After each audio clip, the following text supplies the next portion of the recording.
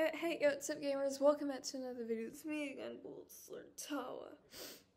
Today's a Friday, I got home from school and then I went to the gym and then I had a shower now I'm here. Anyways, so you know how in the last video I was talking to you guys about how um I I wrote that movie review I started making that I started writing that movie review for The Fly because for our English assignment we had to convince Mr. Ladder to watch a movie of our choice that he had not seen before, and I had only written two paragraphs then. However, um, I recorded that video at night, and then um, I proceeded to for the rest of it, like for the next few hours, I I finished it. And I printed it out today at school during social studies class. I printed out two copies, one for me to keep and one to give to Mr. Ladder. Um, and as you can see, it's really nice. It's a page long, just like he said. Um, he didn't exactly give us that much detail on it, but I know that he likes sci-fi movies. Anyways, here I'm gonna read it. the Fly movie review. The Fly, a 1986 science fiction horror film directed by David Cronenberg. It has won several awards since its release and has been labeled as one of the best horror movies created. Um, with a modest with a modest budget of only nine to five, nine to fifteen million dollars, the film remarkably earned over sixty point six million at the worldwide box office, solidifying its status as as a classic horror film.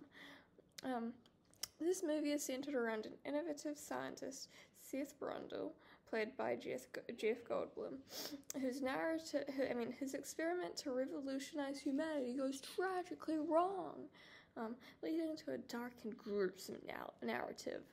Uh, there are so many distinct aspects of this film. The variety of emotions experienced throughout the film is like a roller coaster. It takes you on an adventure full of confusion, shock, grief, romance, and much more. Um, the Fly uses slow development to progress the movie. The film's horror unfolds with a slow building, suspenseful intensity. Um, minor changes begin to a film. Minor changes begin to appear during the film, subtly enhancing the sensations of it all. Uh, for a film developed in 1986, the details are spectacular. The gore and special effects, which I wrote as SFX to abbreviate it, um, have clearly been constructed with major effort. The level of intricacy laced within this film earns two awards for, Makeup in 1987.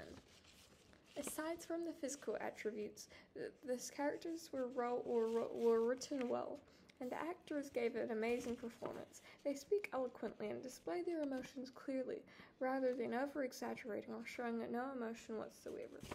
The psychological aspects which are highlighted have also been performed in an in an outstanding manner, leaving viewers in a state of awe. Cronenberg's filmmaking style and atmosphere also play a crucial role in the success of The Fly characterized by dark colors alongside claustrophobic settings, a pronounced aesthetic is fostered. Not to mention the eerie soundtrack, which only enhances them each mood exhibited throughout the film.